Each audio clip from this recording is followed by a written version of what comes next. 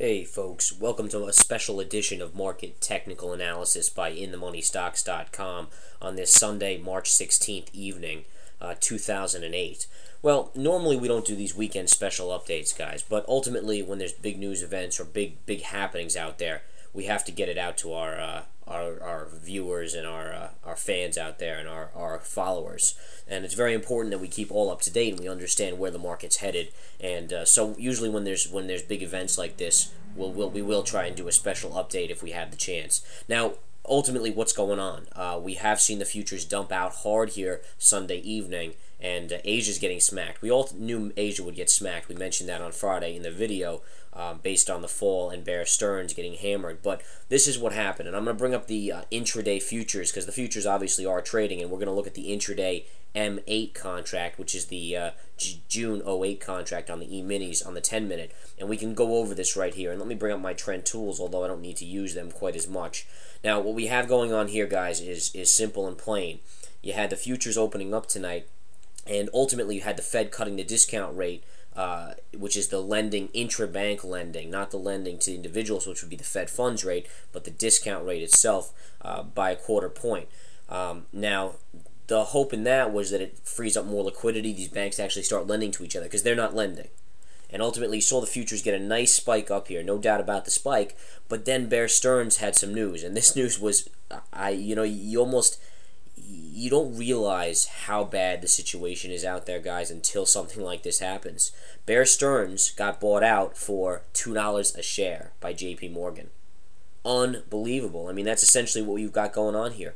Bear Stearns, which was down 50% from on Friday to about $30 a share, is getting bought out for $2 a share.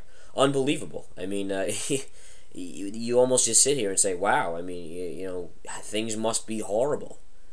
If, if you're telling me it's, it's down from $175 12 months ago or less than 12 months ago to to now a buyout at $2, and this is one of the largest financial institutions, the large financial institutions in the United States here. Um, it's it wasn't it's not quite as considered as big as Goldman Sachs out there and a couple of the other ones, but it's right up there, folks. And for it to have this type of news event, um, a buyout uh, it's Fed backed too. I mean, there's no doubt about it that the Fed's involved here. Obviously, the Fed came out and did the discount rate cut, and we fully expect more more stuff going on. So now it becomes very interesting over the next few days, guys. All right, we do have the futures down 25 points on the SP S&P here. The E-minis are down 25 points. You got the Dow futures down almost 200 here at least, and I'll get you guys. Uh, excuse that. I'll get you guys a new uh, print on that shortly. But ultimately, you have the futures down quite a bit, and we'll check on those now. Let's check on those here. Okay, and you have the Dow futures down 202 points right now. The S S&P futures, as we mentioned, down 27 now about, and the Nasdaq futures down about 35. So we're down about 2% across the board. And uh, financial stocks will get hammered to them tomorrow at the open, it looks like, unless something's announced. Now, you guys know the cautious nature uh, we handle here. We we have been around for years. We've seen tons of craziness in this market, and that leads us to be very cautious. It's easy to say the market's going to open much lower tomorrow, and it probably will. But you have, as we always say, you have the government out there, you have the Federal Reserve out there, you have other candidates out there that can move the market by just saying some words. All the Fed has to say is we're going to do this, or the government says we're going to do that and all of a sudden you see a massive reversal. So while the market is looking very negative at this moment, and we do expect a gap down tomorrow, there's no doubt about. I mean, I, I would be shocked if the market turns around. It would have to be on some news like that. So as of this time, we have to assume the futures will open lower, uh, right around those January lows or below. So watch for that, all right, guys? That becomes a new technical point, and I want to just break that out in the chart. And we have the weekly up here, so I want to bring up the daily for everyone to take a look at. Okay, let's do a little daily action here. So now you're talking about this level approximately on the futures, or you could just go with the lows from that other move down, which was approximately here. So it looks like we will uh, probably getting down near that area, if not a little lower, and we'll have to analyze that as we go. Now, again, the question becomes, we've seen this multiple times. We've seen a gap down, massive gap downs in the market, just like here. Here we had a major gap down as panic filled the market, but then we got a huge bounce after that. So it gapped down and it pushed up. And a lot of times we see the opposite. We see the gap up and the roll over.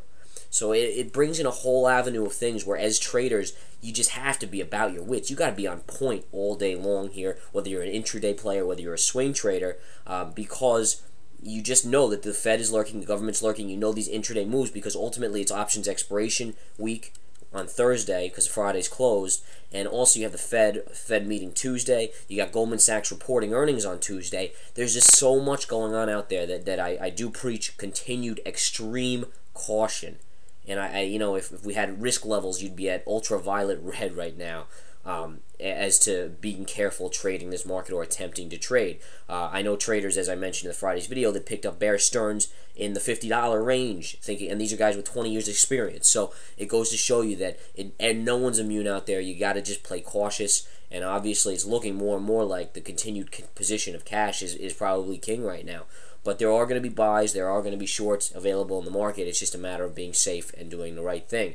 Uh, ultimately, if you're not an experienced trader uh, with lots of experience, I would have to go on the cautious side and say, you know, it's better just to sit this market out. In fact, I'm doing very little trading while this has been going on, which happens to be the greatest thing I've ever, you know, you, you talk about situations like that, and ultimately it's probably one of the best decisions I've made to trade very lightly in this environment because the market's down huge percentage-wise, and I'm essentially, you know, staying in cash uh, which is fine. You know, granted the dollar's gotten very weak, but you know that that, is a you know a small price to pay for being in cash instead of being in this market fully exposed. While every day it seems another financial firm looks like it's going to get hammered. So again, Bear Stearns, and I'll bring up the chart here. Look at the fall on Friday down to a close of thirty dollars, uh, getting bought out by J.P. Morgan for two dollars a share. And I'll just bring that uh, that news story into focus here, folks. So again, there it is listed right on top of Yahoo right here. J.P. Morgan to buy Bear for two dollars a share. JP Morgan Chase said Sunday it will acquire rival Bear Stearns for a bargain based 236.2 million or two dollars a share. Um, unbelievable, guys. You know, there's there's no words that I can fully describe to you what we're seeing here, and the question has to be asked now: Who's next?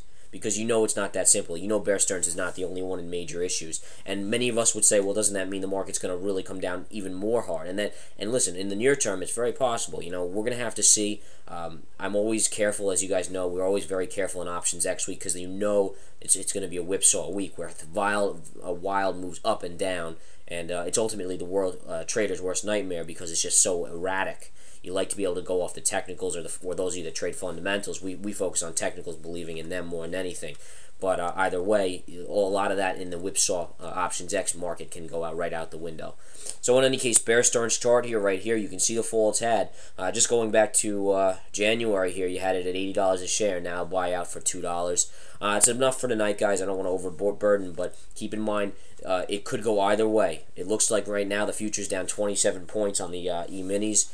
Um, we could go either way, and we have to wait to tomorrow, and we'll have to see where the market opens, then do our analysis. Come join the chat room. Come join the Swing Trades Trade Alerts, as we always say. But be ready for a volatile week.